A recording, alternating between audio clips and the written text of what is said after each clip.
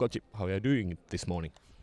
Uh, thank you so much. Uh, I had uh, enjoyed with uh, all the throwers uh, from Finland and also some of the athletes from uh, Europe, and we had a good, very good time spending time, and I feel good, you know, good about it. Yeah.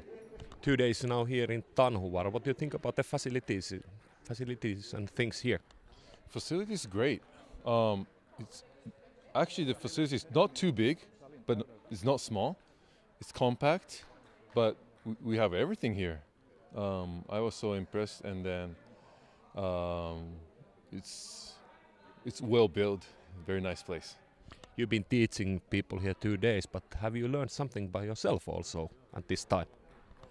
I learned about the people are so so much into the throws, throwing event.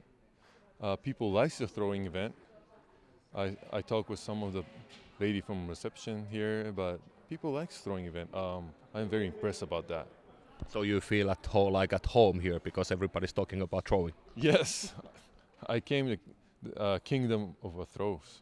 Yeah. Like you know that we love the most the javelin throwing, and I heard from Antti Ruuskanen, the Olympic medalist, that uh, you have a beautiful technique also in javelin throwing. And what's your record?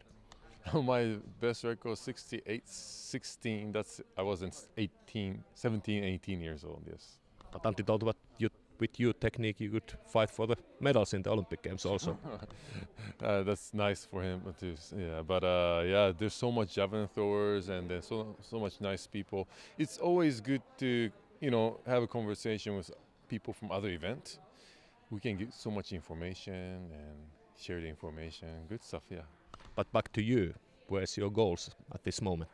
My goal now, um, challenging for my age that's my one of my goal, and that's why I invented so much training like this. Uh, and then I hopefully I can uh, give good information to next generation. That's I can. Yeah, that's my uh, goal. Yeah. Arigato. Arigato.